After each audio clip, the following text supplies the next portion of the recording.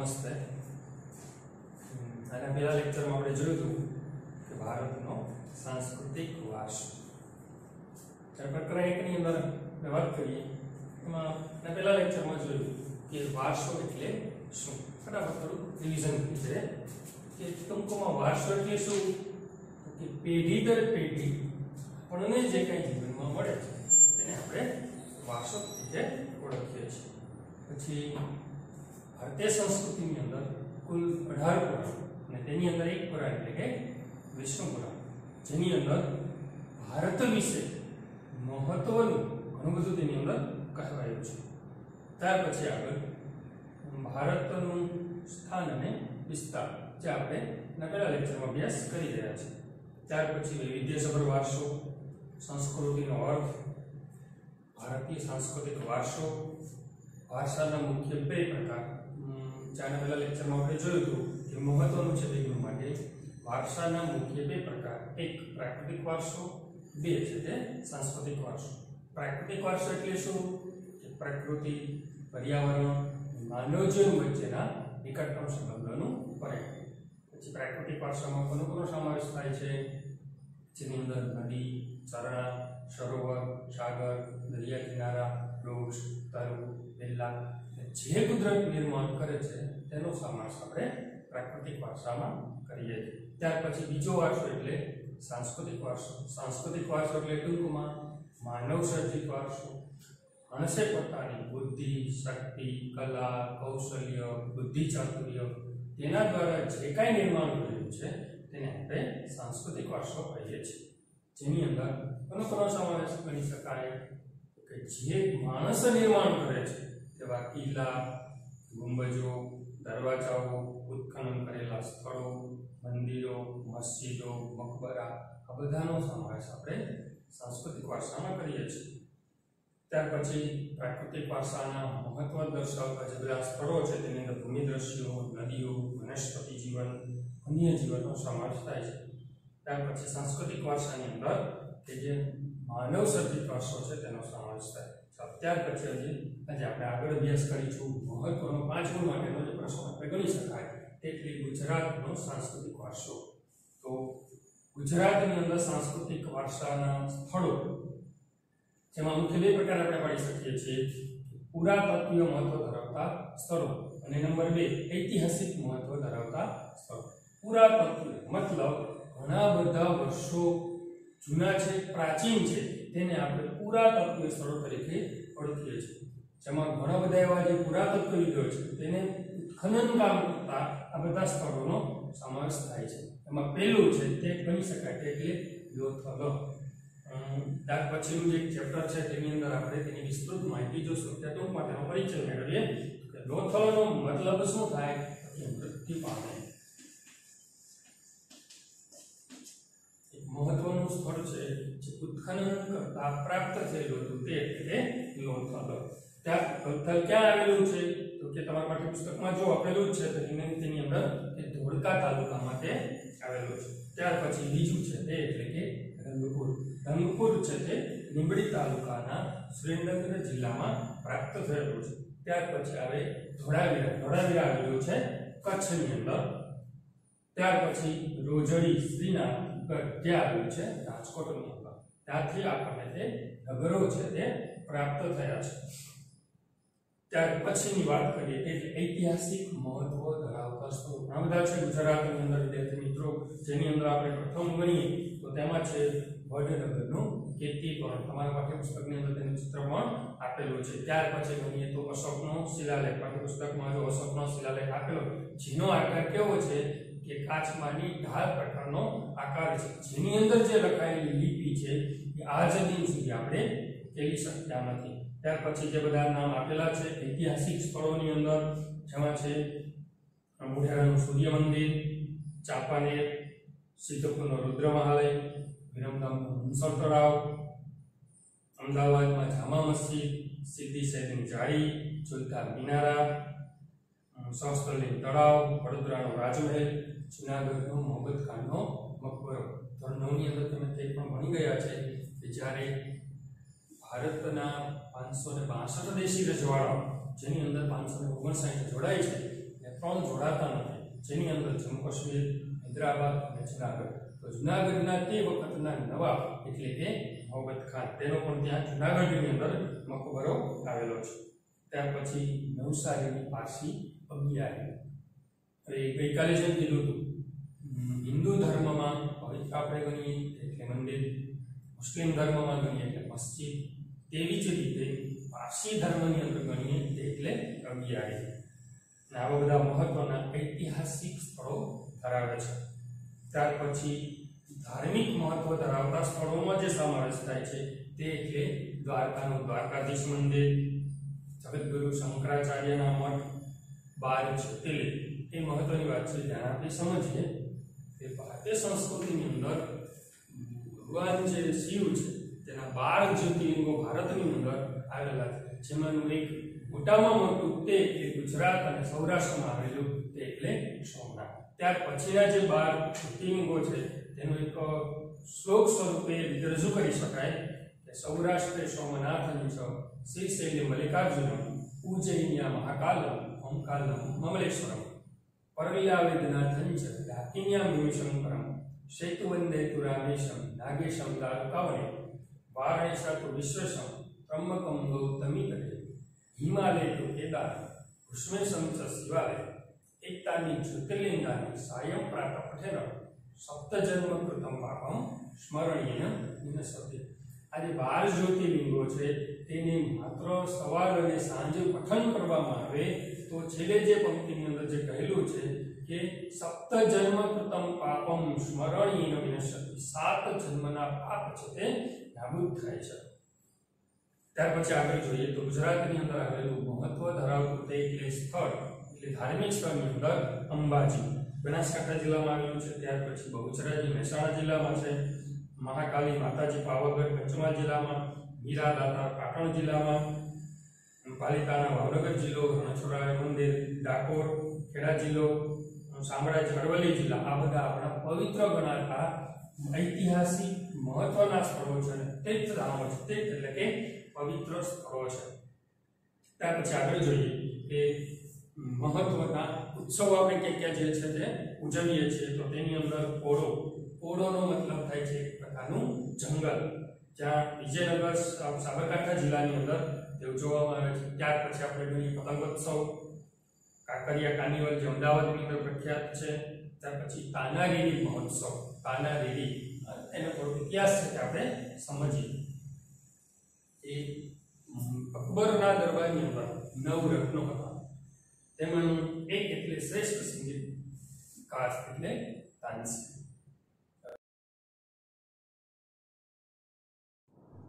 ચાલો વિદ્યાર્થી મિત્રો, આગળ આપણે જોઈએ. જેમ પહેલા લેક્ચરમાં જોયું કે ભારતનો વારસો. મુખ્ય વાત કરીએ, બે ગુણમાં મહત્વનો પ્રશ્ન. ભારતના વારસાના પ્રકાર. મુખ્ય બે ગણી. એક પ્રાકૃતિક વારસો અને બે સાંસ્કૃતિક વારસો. જેમાં આપણે મહત્વની જે વાત કરી કે સાંસ્કૃતિક વારસાની અંદર કોનો કોનો સમાવેશ થાય છે આપણે બધું જોઈ ગયા છે. આગળ આપણે જોઈએ, એમાં પણ અભ્યાસ કર્યો. ગુજરાતનો સાંસ્કૃતિક વારસો. તો ગુજરાતની અંદર ભારતીય સાંસ્કૃતિક વારસાને લગતા ઘણા બધા મહત્વના પ્રાચીન સ્થળો આવેલા છે. જેની અંદર આપણે વિભાગોની અંદર જોયું કે એક પૌરાણિક વારસો છે અને ઐતિહાસિક વારસો છે. તેની અંદર જુદા જુદા અલગ અલગ પ્રકારના ઐતિહાસિક સ્મારકો પણ આપણી ભારતીય સંસ્કૃતિને યાદ અપાવે છે. ત્યાર પછી આપણે આગળ જોયું કે ભારતની અંદર બાર જ્યોતિર્લિંગો આવેલા છે. જેની અંદર આપણે એક શ્લોકના માધ્યમથી પણ આપણે તેનો અભ્યાસ કરી ગયા છે. ત્યાર પછી આગળ ભારતની અંદરમાં ગુજરાતમાં તે પ્રવાસન સ્થળો પણ જોવા મળે છે. ત્યાર પછી કાંકરિયા કાર્નિવલ જે અમદાવાદની અંદર આવેલું છે, તાનારીરી મહોત્સવ, જે આપણે વાત કરતા હતા કે તાનારીરી. તાનારીરી કોણ છે તેનો ઇતિહાસ છે ફટાફટ સમજી લે કે તાનારીરી કોણ છે? વિદ્યાર્થી મિત્રો, તમે નરસિંહ મહેતાનું નામ સાંભળ્યું છે. નરસિંહ મહેતાની દીકરી એટલે કે કુંવરબાઈ કુંવરબાઈની દીકરી શર્મિષ્ઠા અને શર્મિષ્ઠાની દીકરી એટલે કે તાનારીરી રેડી અકબરના દરબારની અંદર નવ રત્નો હતા.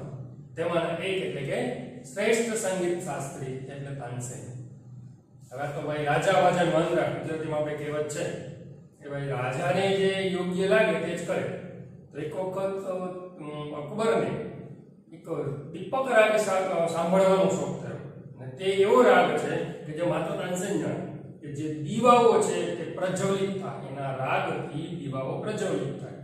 તો એ તાનસેન પાસે ફરજિયાત દોડાવે છે. એટલે તાનસેન તો ના પડે છે કે હું ન ગાઉં. કેમ કે જાણતો હતો કે જો ઈ રાગ ગાવામાં આવે તો એના શરીરની અંદર અગ્નિ ઉત્પન્ન થાય. અને અગ્નિ ક્યારે શાંત થાય? તો કે જો કોઈ મલ્હાર રાગ ગાય, વરસાદ પડે, અને તો અને તો જ તેનો ઈ શાંત થાય. તો એના માટે ફરજિયાત તાનસેનને તે રાગ ગાવો પડે છે. હવે એ ગાય છે, દીવાઓ પ્રજ્વલિત થાય છે. તાનસેનના શરીરની અંદર અગ્નિ ઉત્પન્ન થાય છે. હવે ધીરે ધીરે તે અગ્નિ જે શાંત છે તેની શોધની અંદર તે નીકળી જાય છે. ધીરે ધીરે દરેક વ્યક્તિઓને મળે છે, પણ કોઈ એવો શ્રેષ્ઠ મલ્હાર છે એ ગાઈ શકતો નથી. હવે ધીરે ધીરે વડનગર, અમદાવાદની અંદર પહોંચે છે. જ્યાં એક તળાવ એટલે કે તે શર્મિષ્ઠા તળાવ હોય છે, ત્યાં તાનસેન બેઠા હોય છે. તે સમયે બે બેલી એટલે કે બે બહેનો ત્યાં પાણી ભરવા માટે આવે છે. હવે એની પાસે ઘોડો હતો. હવે ઘોડાને પાણીની અંદર એવી રીતે ડૂબાડે કે તેની અંદર સહજ છે કે આપણે ઘડો છે પાણીની અંદર ડૂબાડીએ એટલે ડુબડુક ડુબડુક અવાજ આવે. તો એ અવાજમાંથી એને મધાર ઉત્પન્ન થવો જોઈએ. જ્યાં સુધી એક બેન એની અંદર એવી જીદ કરી કે જ્યાં સુધી આ ઘડો હું પાણીમાં અને તેની અંદર તે પ્રકારનો અવાજ ઉત્પન્ન નહીં થાય તો હું ઘડો માથા ઉપર ચડાવીશ. એ એટલે એવી કે આ બધું છે એ કોણ? તો તાનસેન જોતો હતો, સાંભળતો તો ત્યાર પછી તેને તે જોયું અને એ બે બહેનો પાસે જાય છે અને તેને એવી રિક્વેસ્ટ કરે છે, એટલે આજીજી કરે છે કે મારા શરીરની અંદર અગ્નિ ઉત્પન્ન થયેલો છે અને તમે આ મલ્હાર જાણી શકો છો. તો મલ્હાર ગાઓ અને મારા અગ્નિ જે શરીરની અંદર રહેલો અગ્નિ છે તેને શાંત કરો. તો એના માટે પેલા બે બહેનો તો ના પાડે છે કે અમે નહીં ગાઈએ એમ. કેમ કે બધા લોકોને ખબર પડી જાય એટલા માટે ના પાડે છે. પણ બહુ આજીજી કરે છે તાનસેન પછી આ જે બે બહેનો છે એ મલ્હાર ગાય છે. અને તેમાંથી વરસાદ પડે છે અને તાનસેનનો અગ્નિ છે એ શાંત થાય છે.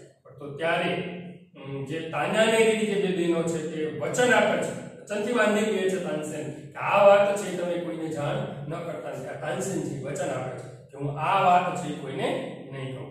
પછી ધીરે ધીરે તાનસેન છે તે પોતાના દરબારની અંદર પહોંચે છે. અને ત્યાં પછી અકબરને ખબર પડે છે કે તાનસેનનો અગ્નિ છે શાંત થયેલો છે. તો એનું કારણ કોણ? તો કે શ્રેષ્ઠ કોઈ મલ્હાર ગાયો હોય, તો તો ને તોય તાનસેનને બોલાવવામાં આવે છે. પછી બધી વાતો તેની પાસેથી કાઢવા તનસેન ના પડે છે. એ કે હું એ જણાવી શકીશ નહીં. પણ તો એને મારવાની ધમકી આપે છે. અને પછી તાનસેન તેને બધી વાત કરે છે. અને ત્યારે શ્રેષ્ઠ તે એટલે કે ખબર છે? એમ કે છે કે આ બે બહેનોને છે તે તમે લઈ આવો. કોઈ પણ ભોગી બે બહેનો આપણા દરબારની અંદર જોઈ. પછી તેના સૈનિકો દ્વારા તેને ત્યાં વડનગરની અંદર લેવા મોકલે છે, પણ એ રેડી બે બહેનો છે એ આવતી નથી. તેને કંઈક અજુગતું લાગે છે. ત્યારે એને ખબર પડે છે કે આ છે ઈ કહેલી જ વાતો હોય, કહી દીધેલું છે. એટલા માટે આપણે લેવા માટે આવ્યા છે. પણ એ પછી જે બહેનો છે ત્યાં જતી નથી. પોતાનું જે પોતાનું જે શરીર છે તેને ત્યાં સમર્પિત કરી દે છે. પોતે તે પોતે સમાધિ લઈ લે છે.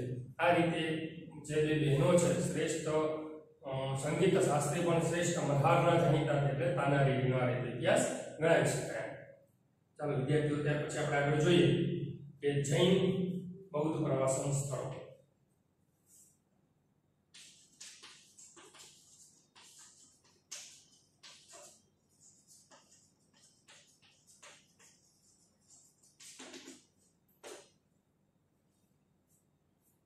જેની અંદર ગુજરાતની અંદર બૌદ્ધ ધર્મના પ્રસાર અને પ્રચાર માટે શ્રેષ્ઠ વાત કરી, બૌદ્ધ ધર્મનો પ્રસાર અને પ્રચાર કરેલો હોય તે એટલે તમે જાણો છો, ધર્મની અંદર પણ તમે ભણી ગયા છો, તે એટલે સમ્રાટ અશોક.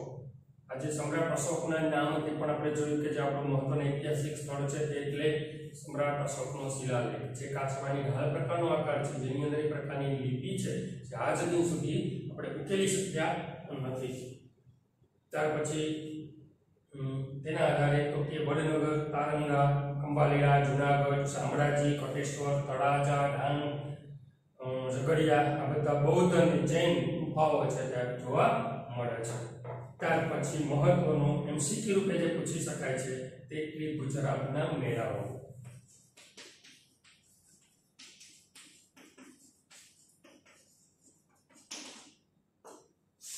ચાલુ દેખની તમારા પાઠ્યપુસ્તકની અંદર તે આપેલા જ છે. કોઈ ઉપર લખતો નથી તમે પાઠ્યપુસ્તકની અંદર જોતા જજો. કે મહત્વના ગુજરાતની અંદર પંદર જે મેળાઓ છે એનું વિશેષ મહત્વ ધરાવે છે, જેની અંદર પહેલો છે તે જોઈએ, તે કે મોઢેરાનો મેળો. જે મહત્વનું તેનું સ્થળ છે મોઢેરા એટલે કે મહેસાણા. મેળાની તિથિ અને મેળાનો સમય. તો શ્રાવણ અમાસે મોઢેરાનો છે તે મેળો ભરાય છે. મોઢેરા પ્રખ્યાત છે. આપણા ભારતની અંદર બે જેવા સૂર્ય મંદિર છે. એની અંદર એક એટલે મોઢેરા બીજું છે કોણાર્કનું સૂર્ય મંદિર છે. ઓરિસ્સાની અંદર આવેલું છે. પછી વિશેષ માહિતી છેના ચેપ્ટરમાં આવશે ત્યારે તેનો અભ્યાસ કરીશું. ત્યાર પછી બહુચરાજીનો મેળો જે બહુચરાજી મહેસાણા ચૈત્ર સુદ પૂનમની અંદર ભરાય છે.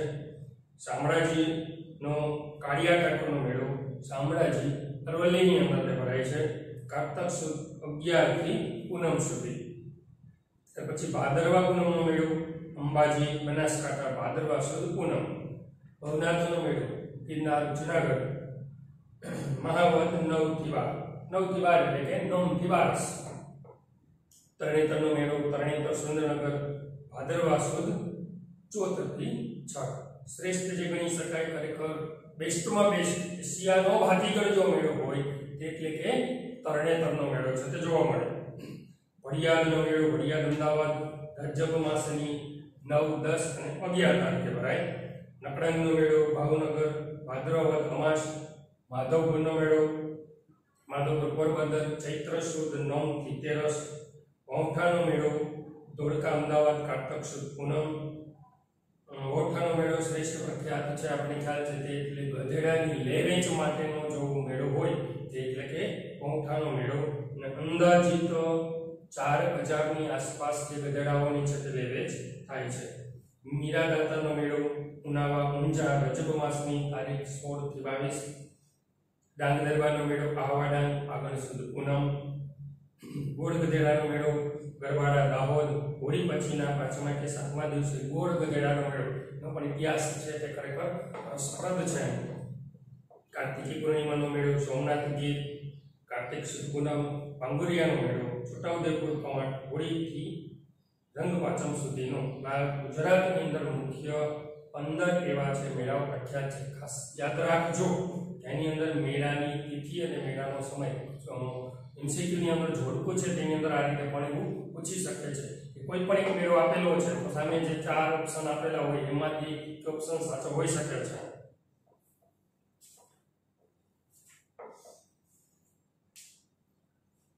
ચાલો, ત્યાર પછી આપણે આગળ જોઈએ કે ભારત ભૂમિ અને તેના લોકો.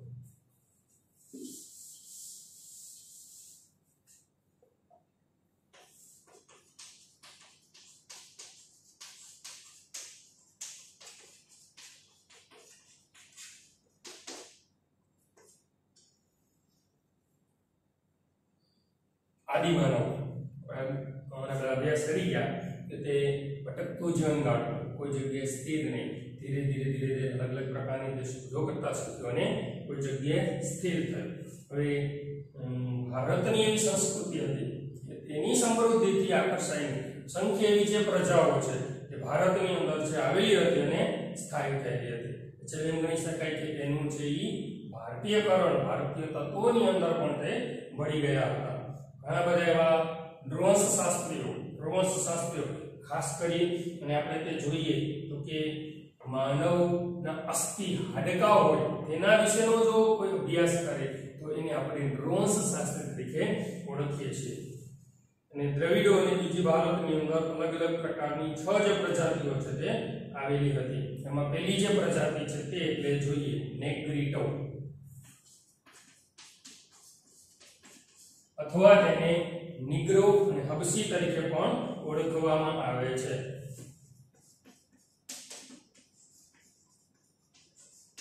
ગ્રો અને હબસી પ્રજાતિઓ.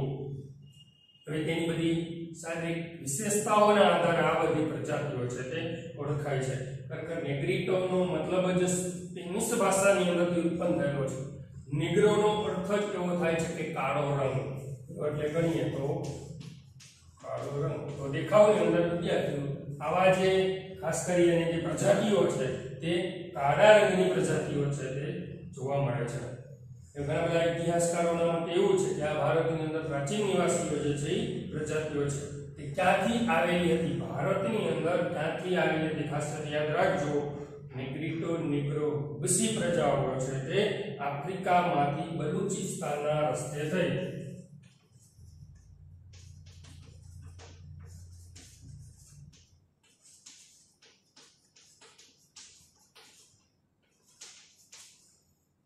આફ્રિકામાં બલુચિસ્તાનના રસ્તે થઈ. ભારતની અંદર છે તે આવેલી હતી. હવે તેની બધી શારીરિક વિશેષતાઓ કે તે વર્ણે શ્યામ ચારથી પાંચ ફૂટ ઊંચા માથે વાકડી આવા ત્રણ ત્રણ છે તેની શારીરિક વિશેષતા છે. ફરીથી યાદ રાખજો, વર્ણે શ્યામ ચારથી પાંચ ફૂટ ઊંચા અને માથે વાકડિયા વા આ પ્રજાતિઓ છે તે નેગ્રીટો પ્રજાતિઓ તરીકે ઓળખાય છે. ત્યાર પછી આવે છે ઓસ્ટ્રેલોઇડ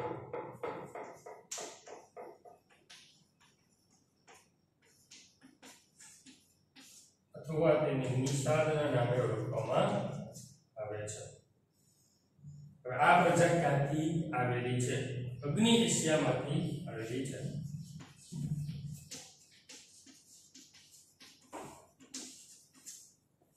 આ પ્રજાતિઓ અગ્નિ એશિયામાંથી ભારતની અંદર આવેલી છે જેવી રીતે નેગ્રીટો પ્રજાની શારીરિક વિશેષતાઓ છે, તે જ રીતે ઓસ્ટ્રેલિયન પ્રજાની શારીરિક વિશેષતાઓ, જેમાં રંગે શ્યામ, લાંબુ પહોળું માથું, ટૂંકું કદ, આ તેમની, ને ચપટું નાક આ તેમની શારીરિક વિશેષતાઓ હતી.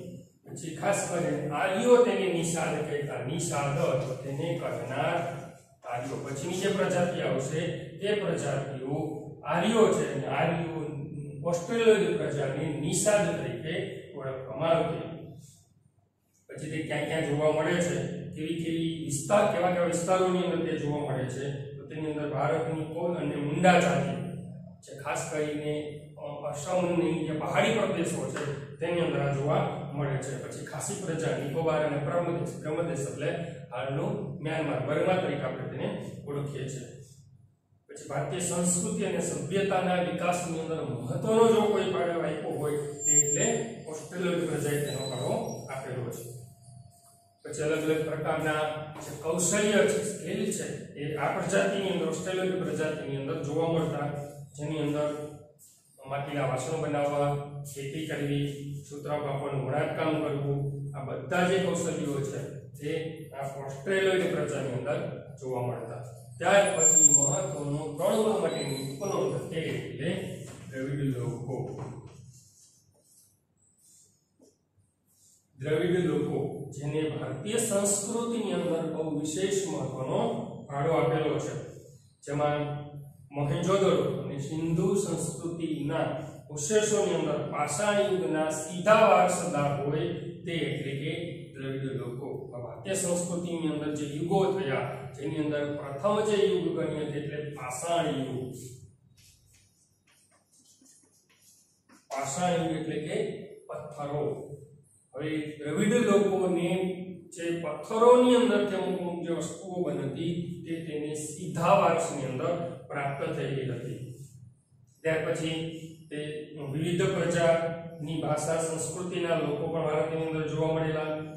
દ્રવિડોએ માતા રૂપે પાર્વતી પિતૃ રૂપે ભગવાન શિવ નો ખ્યાલ સૌપ્રથમ તેને વિકસાવ્યો હતો. ધૂપ દીપ અને આરતીની જે શરૂઆત છે તે દ્રવિડ લોકોએ કરેલી હતી. આજે પણ હિન્દુ ધર્મ પ્રમાણે આપણે જોઈએ ફરજિયાતની અંદર સવાર અને સાંજે છે તે આપણે દીપ પ્રાગટ્ય કરીએ છીએ, અગરબત્તી કરીએ છીએ, તો એ સૌ પ્રથમ જે શીખવાડેલા લોકો હતા ભારતને, તો તેની અંદર દ્રવિડ લોકોનો સમાવેશ થાય છે. ત્યાર પછી પ્રકૃતિ પૂજા, પશુઓની પૂજા, આ બધું દ્રવિડોએ આપણને આપેલું છે. ધીરે ધીરે પછી સમય જતા તેને આંતરજ્ઞાતીય લગ્નો છે, એની પણ એને શરૂઆત કરેલી હતી. દ્રવિડોની અંદર મહત્વની વાત છે માતૃમૂલક કુટુંબ પ્રથાઓ છે, તે પણ તેમાં પ્રચલિત હતી.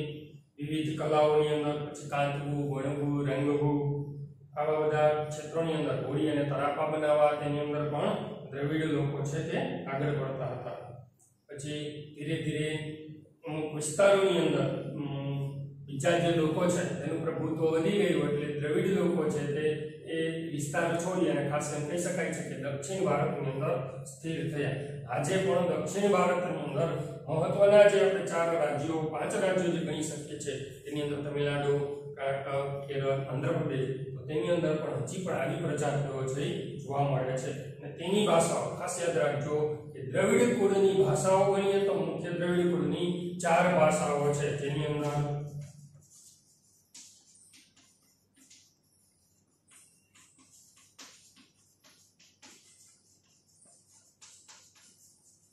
તમિલ, તેલુગુ, કન્નડ અને મલયાલમ આ ભાષાઓ આજે પણ દક્ષિણ ભારતની અંદર ભગવામાં આવે છે.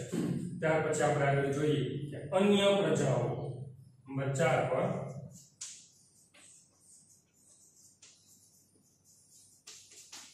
અન્ય પ્રજાતિની અંદર મોંગોલોઇડ આલ્પાઇન ડિડારી અને આર્મેનોઇડ આ પ્રજાતિઓ છે તેનો સમાવેશ થાય છે. હવે પ્રજાતિઓ ક્યાંથી આવેલી છે?